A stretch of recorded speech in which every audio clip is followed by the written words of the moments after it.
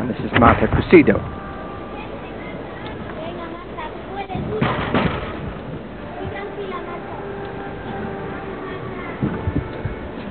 In bad swings, the coach moving in, which uh, indicates a release is coming up, but it's a long time coming. There it is, successfully through the Jaeger.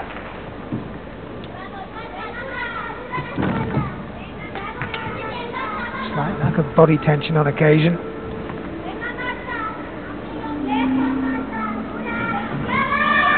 Double pike back was travelled.